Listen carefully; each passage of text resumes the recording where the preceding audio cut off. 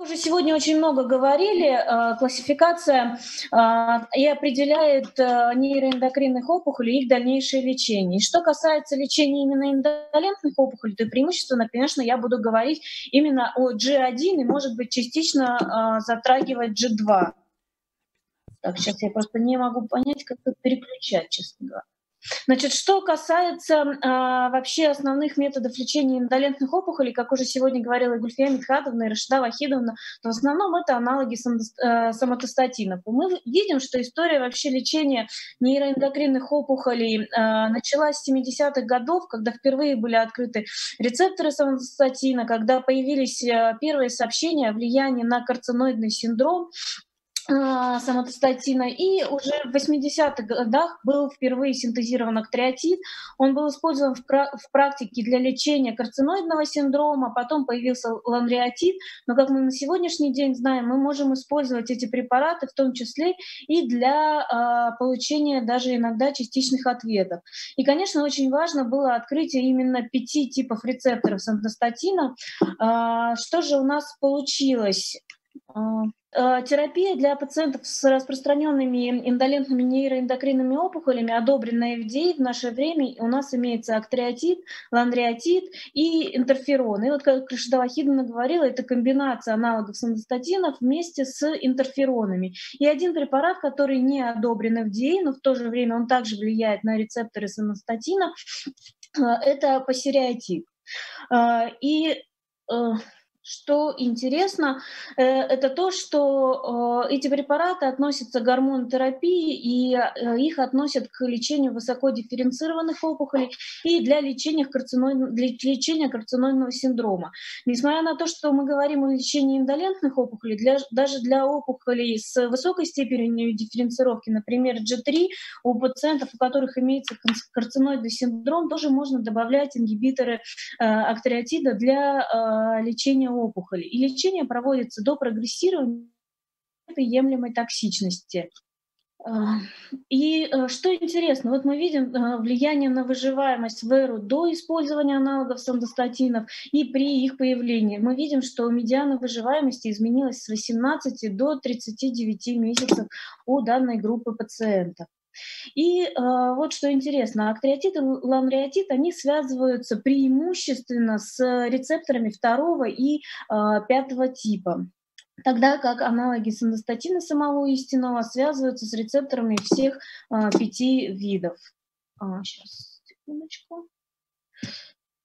Э, какой же механизм, э, я не буду останавливаться на именно воздействии на карциноидный синдром, а какой же механизм противоопухолевого действия, то есть антипролиферативного?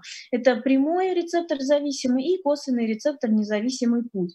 Прямой – это э, ингибирование клеточного цикла, это ингибирование факторов роста и стимуляция апоптоза. Косвенный рецептор независимый – это воздействие на, факторов роста, на факторы роста и э, торможение высвобождения гормонов, это влияние на иммунную систему и торможение ангиогенеза. А, противоопухолевая активность э, описывалась, как я уже говорила, с 80-х годов. Это были только клинические наблюдения. В 90-х годах появились данные о э, частичных регрессах при воздействии аналога статинов, и было проведено два а, рандомизированных исследования, но доказательная а, активность была у них низкая. И в 2000-х годах провели два больших рандомизированных исследования третьей фазы с высоким уровнем доказательности противоопухолевой активности аналога аналогов самдостатинов. Но что интересно, что концентрация этих препаратов а, в крови может зависеть от индекса массы тела, от пола, от э, сопутствующей терапии и от статуса опухоли, а именно от опухолевой нагрузки. А, и степени, распростра... Э, степени распространения опухоли. Ну и аналоги сандостатина а, используются в основном для контроля симптомов, а именно для лечения карциноидного синдрома и для антипролиферативной активности, то есть с противоопухолевой целью у пациентов с э, Ки-67 а, до 10% это э, для опухоли G1 и G2.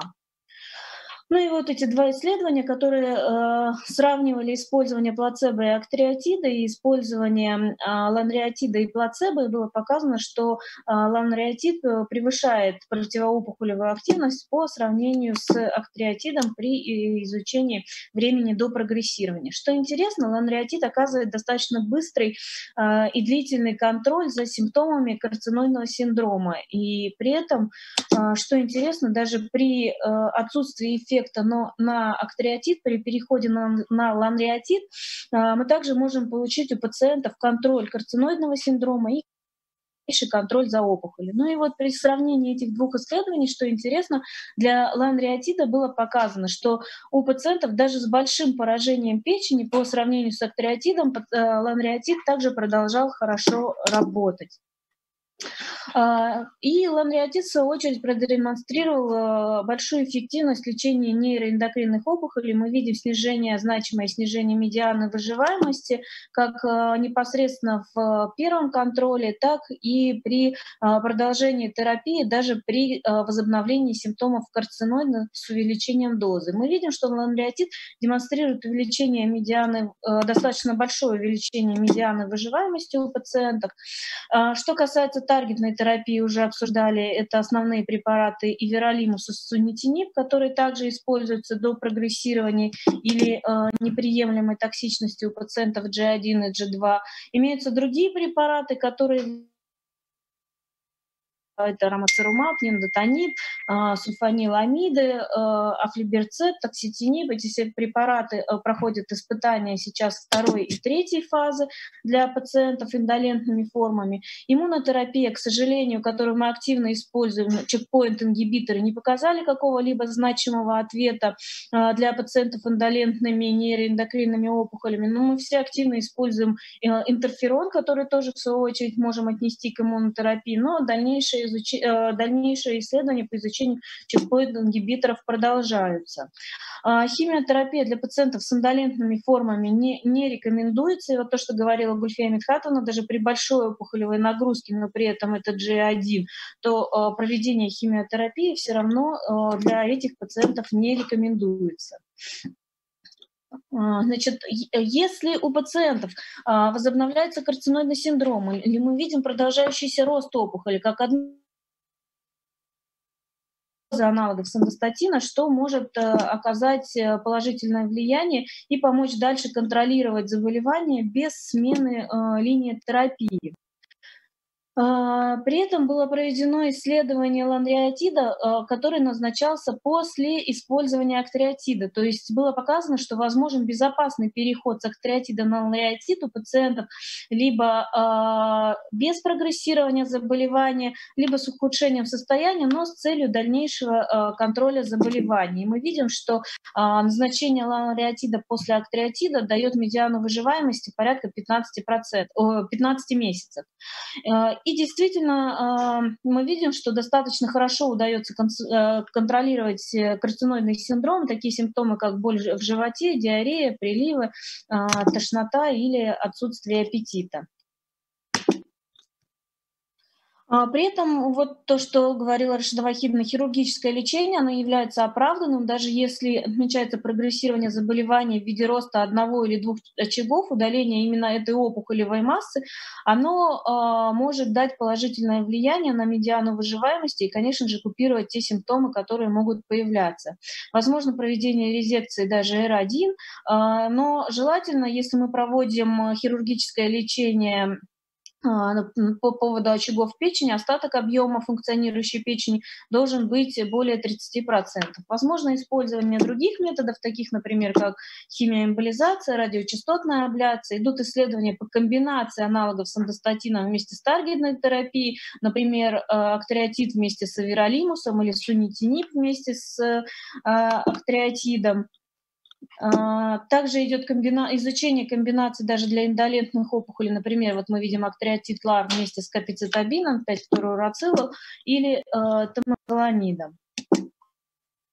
Ну и э, мы знаем, что аналоги сандостатинов назначаются для пациентов с индолентными нейроэндокринными опухолями, могут назначаться как с функционирующей, так и нефункционирующей опухоли. Мы видим, что по рекомендациям это актриотиты либо ламлеотиты, это касается как для э, опухоли желудочно-кишечного тракта, так и для нейроэндокринных опухолей поджелудочной железы. Ну и вот основные э, моменты для контролирования, для контроля болезней индолентных нейроэндокринных опухолей желудочно-кишечного тракта – это аналоги сандостатина. То, что у нас не зарегистрировано, это лечение радионуклидными пептидами. И у нас тоже была пациентка, которой нам очень хотелось назначить терапию. Мы ее отправляли на консультацию в РОНС, может быть, они нам что-то посоветуют. Но действительно в Российской Федерации эта терапия не проводится, а возможности провести ее за рубежом у пациентки не было. Это таргетная терапия, это интерферон, это использование э, локальной терапии и, э, и системная терапия для пациентов с индолентными формами не используется. Ну и вот это одна из наших пациенток, э, у которой заболевание началось с потери сознания, повышения артериального давления, покраснения лица. Это началось за два года до выявления заболевания. А, она э, периодически теряла сознание на улице, э, падала, была доставлена а, в город, была доставлялась в городские стационары города. Также в 2015 году а, у нее во время стресс, стрессовой ситуации также были эпизоды повышения давления и потери сознания. Пациентка наблюдалась у эндокринолога, у невролога. А, считалось, что эти симптомы могут быть связаны с травмами головного мозга, которые она получала при потере сознания. И итоге пациентка к нам попала на лечение после э, нахождения в психоневрологическом диспансере.